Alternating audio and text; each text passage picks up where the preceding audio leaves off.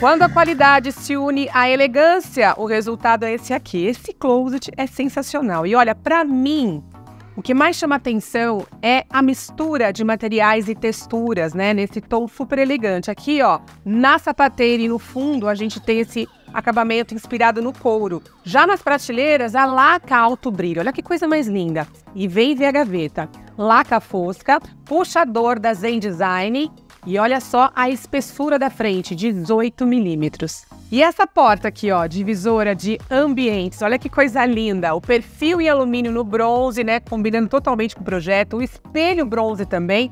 E o mais interessante é que aqui você tem várias possibilidades. Essa porta divisora de ambientes, você pode escolher em outros materiais, como a laca, por exemplo, com puxador em cava. Envia sua planta pelo site, pelo WhatsApp, fale com o seu arquiteto e vem conhecer de pertinho. Eu estou esperando você aqui na loja.